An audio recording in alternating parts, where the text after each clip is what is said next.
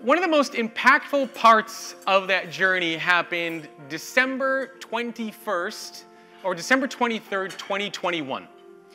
And it was just like any other day. I woke up in the morning, I'm standing in the bathroom mirror, brushing my teeth. And I'm standing there brushing my teeth, and all of a sudden, I, I start to feel weird. All of a sudden, my heart starts beating very fast. All of a sudden, I'm, I'm breathing heavy, my vision gets a little blurry, and I'm overcome with this just this fear of panic and, and dread. And in my mind, I'm thinking, shit, I'm having a heart attack. Like, this is it. I, I scream for my wife, uh, Blake, get over here, something's wrong. She has me lay down on the bed, and then my body just starts like convulsing. Like if you've ever had the flu when you get the shakes, that's what my body was going through. I, I, could not figure out what the hell was going on with me. Uh, to make matters worse, this was during the holidays. So my regular doctor was gone. I tried to go to urgent care. They told me that they were filled with COVID patients and they refused to see me. And uh, the following day, I asked my wife to drive me to the emergency room. And right before I checked myself into the emergency room, my wife talks me out of it. She's like, let's go home, relax, figure it out. Uh, you know, you seem okay.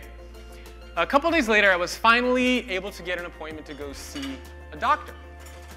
And I go to the doctor, they do an EKG scan, they do their full analysis, and they say, You're fine.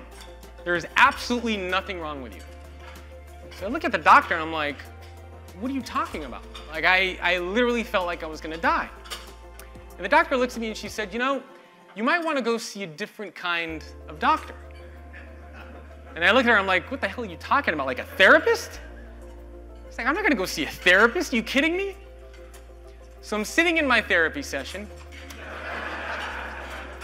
one of several that I uh, ended up doing, one of many, I should say. And I started talking to the therapist, and it became very clear that one of the things that caused my panic attack was this book was the very fact that I was having to write about vulnerability when I am not a vulnerable person. I do not come from a vulnerable background. I do not come from a vulnerable family. My parents are from the Republic of Georgia, the former USSR, communist regime. Now, although my mom was more comfortable with emotion and with vulnerability as a young boy, I ultimately grew up watching my dad. And my dad never emulated any kind of weakness. His philosophy was never show emotion, don't show weakness, always try to be number one mentally and physically, and that's it. In fact, I actually remember one time, I must have been, I don't know, eight or nine years old. I was playing in a soccer tournament. And after the soccer tournament, uh, my dad and I, would go to the coach's house to pick something up, and the coach says, Oh, hang on a second, I got a trophy for you. And the coach goes and he brings out a trophy. And my dad looks at the trophy and he looks at me and the coach and he's like, What the hell is that for? They got last place. And the coach is like, Oh, we're giving participation trophies so that the kids feel like they, you know, participated. My dad looks at the coach and he's like, That's bullshit. Keep the trophy. Get in the car. That's how I grew up, right? That's how I grew up. So when I was forced to confront this theme of vulnerability, my body, my mind was like, ah, man, absolutely not. And so it caused this, this panic attack. And I won't ask you to raise your hands if you've ever had a panic attack or a heart attack, but if you have, you know it is a terrifying feeling. You actually feel like you're gonna die. And it's not a rational thing, right? It, it, it doesn't make sense. Your, your body's totally fine, but mentally, that's, that's what you think is happening to you.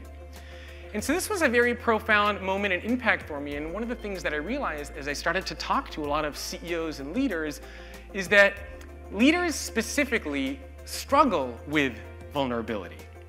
This is a very challenging and a hard thing for a lot of leaders to embrace and to think about.